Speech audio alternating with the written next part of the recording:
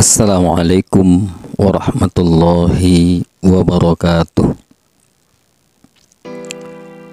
Hamdan liman ja'alana ummatan wahidah Umirna bil jama'ah wa nuhina anil firqah Ashhadu an la ilaha illallah wahdahu la syarikalah Wa ashhadu anna muhammadan abduhu wa rasuluh Khataman nabiyyin wa la nabiyya ba'dah Fasalawatullah wassalamu alaih wa ala alihi wa ashabihi wa Para pendengar sekalian Memiliki rumah sebagai kediaman keluarga atau pribadi merupakan hal yang diinginkan oleh tiap individu. Sebab rumah adalah bagian dari kebutuhan primer seseorang Utamanya yang telah berkeluarga dengan banyaknya kesibukan di luar, jarak yang terjadi antara anak dan orang tua atau saudara dan handai taulan lainnya menjadikan rumah adalah tempat persinggahan untuk beristirahat atau tempat berkumpul orang-orang yang biasanya telah lama berpisah. Dengan demikian, keinginan memiliki rumah tentu senantiasa berbarengan dengan keinginan terciptanya suasana harmonis dan penuh kenyamanan di dalam rumah tersebut. Para pendengar sekalian, bagi seorang Muslim sendiri, rumah yang dicita-citakan adalah rumah yang diberkahi oleh Allah Subhanahu wa Ta'ala. Sebab letak kebahagiaan seorang Muslim adalah apabila apa yang dia miliki haruslah diridhoi dan diberkahi oleh Allah Subhanahu wa taala Sebab setiap muslim meyakini bahwa harta yang diberikan oleh Allah Subhanahu wa taala jika ternyata tidak diberkahi maka justru akan menjadi ujian bahkan bisa menjadi musibah. Para pendengar yang dirahmati Allah, jika rumah yang dimiliki tidak diberkahi, justru tidak ada kebahagiaan yang ditunai dari sana, atau malah pada akhirnya rumah menjadi sarang konflik suami istri atau orang tua dengan anak. Jika mau ditelaah lebih dalam, di dalam Al-Quran Allah Subhanahu wa Ta'ala telah memberikan kiat-kiat yang bisa dilakukan agar Allah memberkahi kediaman kita Cara mendapatkan berkah itu bisa kita lihat dari doa Nabi Ibrahim alaihissalam yang beliau panjatkan ketika menempatkan anak keturunannya di lembah Baka tanah haram yang menjadi Makkah sekarang.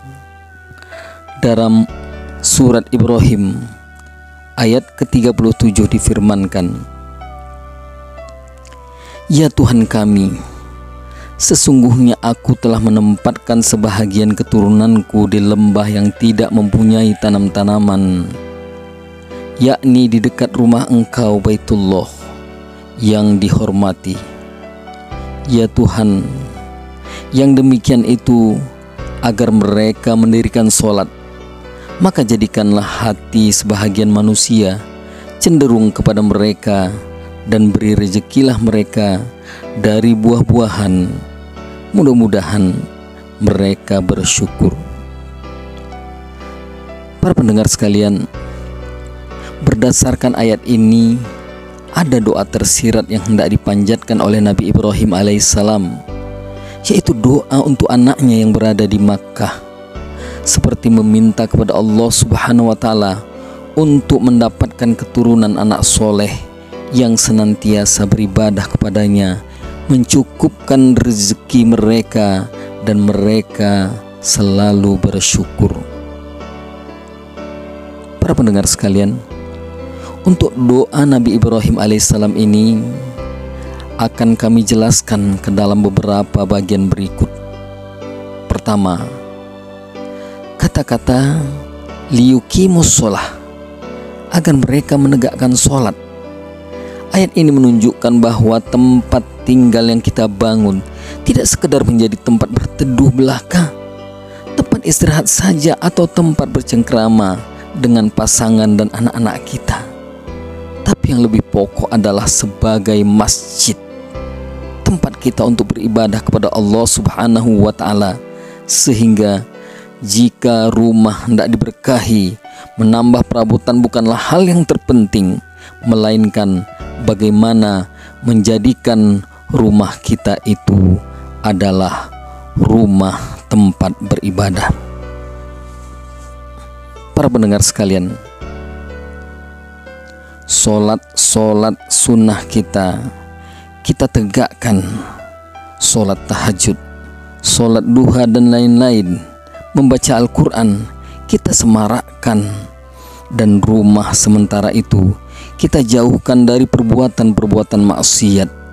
Demikian pula rumah tersebut juga seharusnya menjadi madrasah mengkader anak-anak dan keluarga kita menjadi orang-orang yang soleh. Beberapa dalil di antaranya sabda Nabi Muhammad Sallallahu Alaihi Wasallam, sesungguhnya sebaik-baik solatnya seseorang yaitu seseorang solatnya di rumah sendiri kecuali solat maktubah atau solat fardu. Hal yang patut diperhatikan dari riwayat ini adalah keutamaan solat di rumah. Konteksnya adalah solat sunat. Adapun solat fardu bagi laki-laki lebih utama di masjid sehingga dalam hal ini merupakan hal yang tidak pantas jika mengerjakan solat sunnah rutin dilakukan di rumah namun sangat jarang mengerjakan sholat fardu di masjid. Sebab dalam kaidah fikih seseorang dilarang mencari yang sunnah tetapi dengan meninggalkan yang wajib. Demikian yang dapat disampaikan. Wabillahi taufik walidayah assalamualaikum warahmatullahi wabarakatuh